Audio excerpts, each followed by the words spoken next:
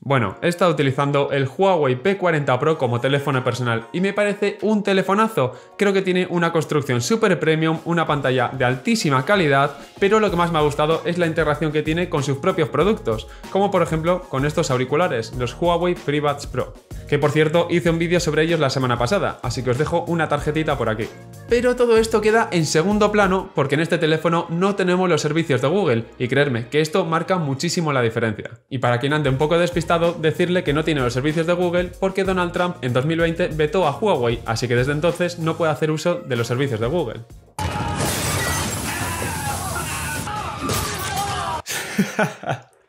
si no lo hacía no dormía tranquilo. Así que en el vídeo de hoy vengo a contaros qué tal es la experiencia con un teléfono que no tenemos los servicios de Google, si tenemos alguna solución para instalarlos y si esas soluciones son buenas o no. Antes de ir con el vídeo, tengo que agradecer a la tienda Bilbo Truque, que es la tienda que me ha cedido este Huawei P40 Pro, así que desde aquí, muchísimas gracias. Os dejo como siempre el link en la descripción del vídeo, así que luego podéis ir y echarle un ojo. Así que no me enrollo más y vamos a ver si merece la pena comprarse un Huawei a día de hoy o no.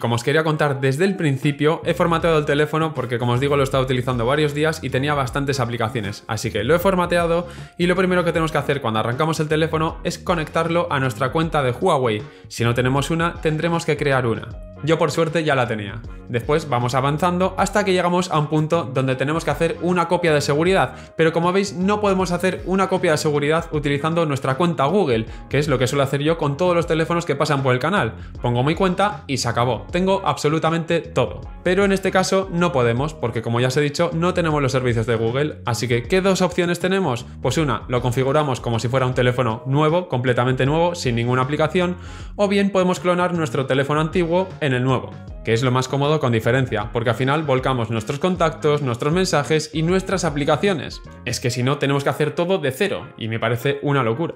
Para clonar nuestro teléfono antiguo en el nuevo, Huawei nos pide que nos descarguemos en el teléfono antiguo una aplicación que se llama Phone Clone, que la podemos encontrar fácilmente en el Play Store.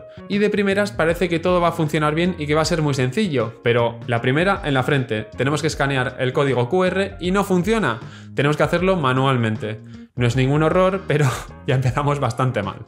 Con este método se han pasado todas las aplicaciones menos las de Google, porque las de Google no las podemos tener. Eso de manera oficial. Esperaros un poco que más adelante os lo cuento. Lógicamente, el teléfono también trae algunas aplicaciones preinstaladas como estáis viendo, además de otras aplicaciones que recomienda. Sí, sí, son aplicaciones que no están instaladas, pero las recomienda.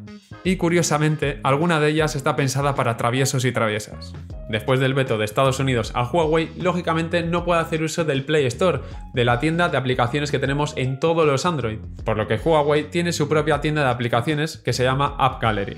¿Y qué tal es el App Gallery? Pues sinceramente me parece que deja muchísimo que desear. Me parece que hay muy pocas aplicaciones, lógicamente ninguna de Google, pero fuera de eso me parece que tiene muy pocas aplicaciones, muy muy pocas. Y es que lo más triste es que a veces descargando alguna aplicación no nos descarga, o mejor dicho, nos instala directamente la aplicación. No, no, nos lleva a la página web de la aplicación, por ejemplo WhatsApp, y ahí te descargas el APK. Luego ese archivo lo tienes que instalar tú manualmente y entonces ya tienes la aplicación instalada. O sea, nada que ver con el Google Store, que coges, le das a instalar y ya hace todo automáticamente el teléfono. Pues no, en este caso tenemos que hacerlo manualmente en algunas aplicaciones y en el WhatsApp pues hay que hacerlo así. Que encima, cuando instalamos aplicaciones de esta manera, no se van actualizando. Un desastre. Y claro, como no tenemos los servicios de Google, tampoco podemos recuperar una copia de seguridad que hayamos hecho en nuestro antiguo teléfono. ¿Por qué? Porque eso se guarda en el Drive y eso pertenece a Google. Así que no podemos recuperar nuestro chat del teléfono antiguo. Punto. Empezamos de cero. Ya veis que de esta manera son todo pegas, pocas aplicaciones, que si te tienes que bajar una APK, luego instalarla toda a mano, que si tienes que aceptar orígenes desconocidos, es un auténtico rollo. Pero esto, ¿tiene solución? Pues yo he probado varias cosas y la primera que he probado es descargar el App Store de Amazon, es decir, la tienda de aplicaciones de Amazon. Y podéis ver que el número de aplicaciones es bastante lamentable también. O sea, hay muy pocas, son bastante inusuales, por no decir malas, porque no las he probado, no puedo decir que sean malas, pero sí bastante inusuales. Así que tampoco es una tienda de aplicaciones donde te vayas a encontrar muy cómodo, pero por lo menos las que te descargues de esa tienda se van a ir actualizando. Algo es algo. Y ya teniendo el App Gallery y el App Store de Amazon, podemos decir que tenemos todas las aplicaciones que necesitamos en el día a día. ¿Y qué pasa con los que queremos sí o sí las aplicaciones de Google? Pues bueno, he encontrado dos soluciones, o por lo menos lo he intentado. Lo primero que intenté fue descargarme la aplicación Petal Search del propio App Gallery. Y aquí podemos descargar aplicaciones de Google. Sí, sí, estáis oyendo bien, podemos descargar directamente aplicaciones de Google. Por ejemplo, Google Maps. Pero de nuevo consiste en llevarnos a una página y que nos descarguemos una APK. Ya os he dicho antes, esto es malo porque al final no se va a actualizar la aplicación, pero también tiene otra cosa mala, que es de una aplicación de terceros que estamos instalando algo que no sabemos ni lo que tiene y puede venir con virus. Así que muy recomendable, pues no sé si es. Eso sí, no os lo niego, funciona. También parece que podemos descargarnos YouTube y YouTube Music, pero no son las aplicaciones en sí, sino que nos crean un acceso directo a la página web de YouTube y YouTube Music. Es una castaña como una casa. Así que esta solución tampoco me ha convencido demasiado. El segundo método creo que os va a gustar bastante más que este primero. Se trata de la aplicación G-Space, que se puede descargar tranquilamente en el App Gallery.